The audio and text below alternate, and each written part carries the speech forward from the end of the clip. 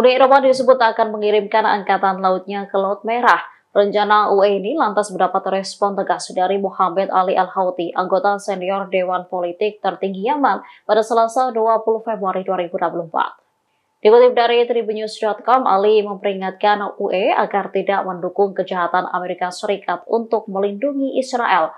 Asalnya, tindakan Israel telah membunuh puluhan ribu warga Palestina.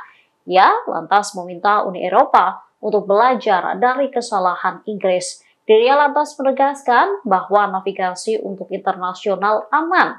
Pesan Ali ini menyusul pengumuman Brussel tentang peluncuran resmi operasi Angkatan Laut Uni Eropa dengan nama Sandi Aspides yang berarti perisai.